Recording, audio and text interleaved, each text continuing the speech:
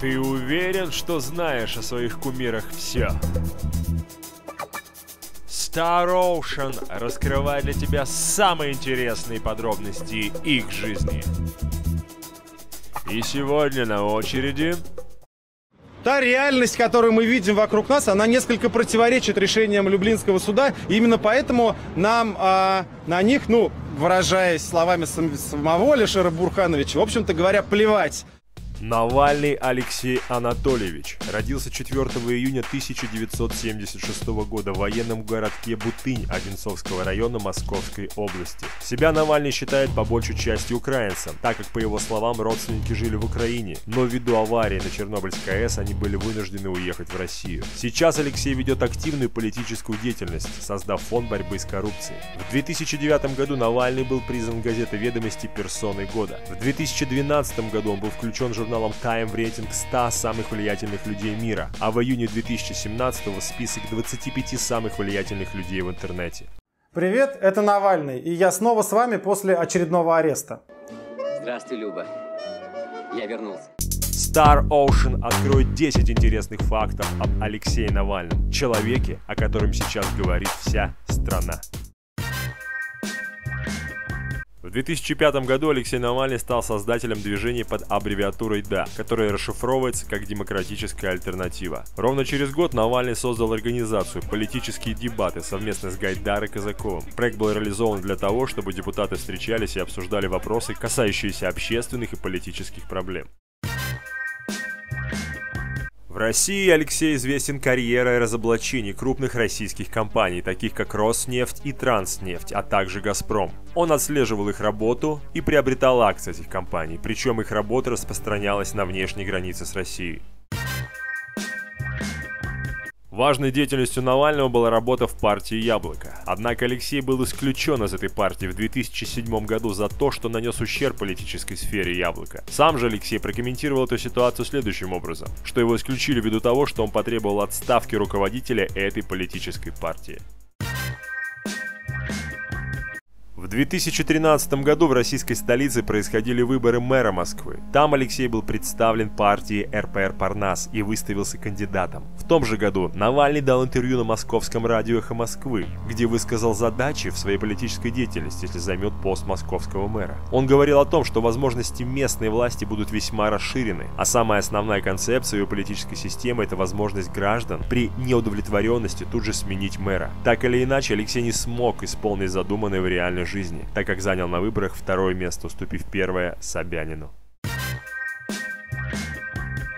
В 2011 году происходили выборы в Государственную Думу, о которых Алексей Навальный неоднозначно отозвался, подразумевая то, что голосовать стоит за все политические партии, кроме «Единой России», назвав сторонников этой партии жуликами и ворами. По этому поводу уже после того, как выборы состоялись, он провел митинг, после которого был арестован на 15 суток. Алексей Навальный высказался в поддержку партии Народный альянс в 2012 году. Эта партия выступала против борьбы с коррупцией. Навальный не мог оформиться как член этой партии, дабы не привлекать излишнее внимание. Несколько раз заявление на регистрацию партии российский Минюст отклонил, пока партия не изменила название на «Партия прогресса». Однако впоследствии она была ликвидирована Минюстом России ввиду того, что не вызвала доверия у граждан страны и не была в течение полугода зарегистрирована в большинстве субъектов Российской Федерации.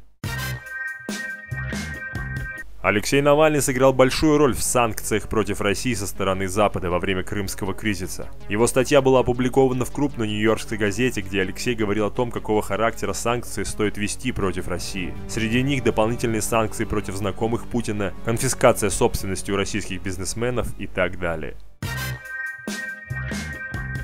Алексей Навальный выпустил два документальных фильма. Один фильм под названием «Чайка» вышел в 2015 году с расследованием преступления Юрия Чайка, которые, к слову, не все подтвердились. В 2017 году появился документальный фильм «Он вам не Димон» о расследовании коррупционных дел Дмитрия Медведева. Фильм поднял много шума, по этому делу в конце марта произошли митинги по всей стране.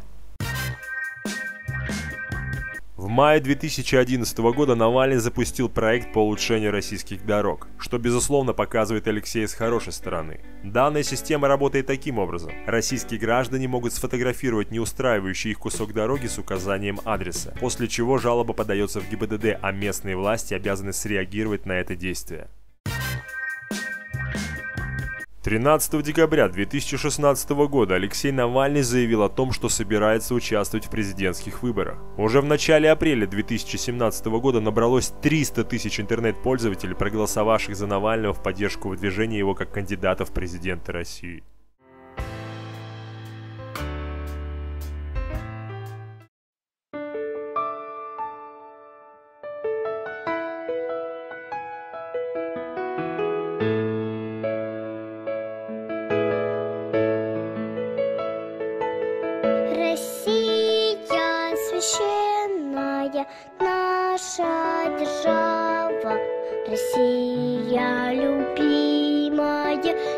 Наша страна. Если понравилось видео, палец вверх. Подписывайся на канал. До новых встреч!